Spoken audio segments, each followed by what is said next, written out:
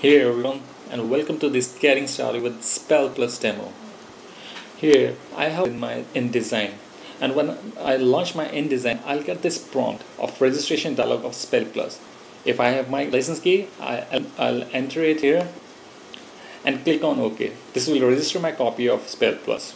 Else if I don't have my license key then I'll click on cancel and I'll continue using the trial of spell plus okay before actually continue using spell plus you need to apply a few settings.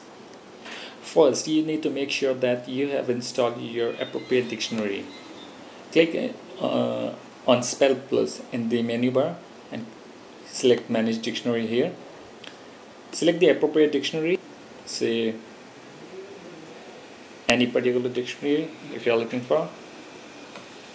I've selected Spanish here now I'll click on add this will add my dictionary in my spell plus. As you can see the add button is changed to remove. That indicates that your dictionary is installed. By default spell plus comes with the uh, hindi telugu english usa and nepali dictionary installed by default. Alright for the next step go to InDesign preferences dictionary here, select the appropriate dictionary, for example Spanish, and select the right vendor here for hyphenation. It is Hunspell, and for Spell Plus, again it's Hunspell.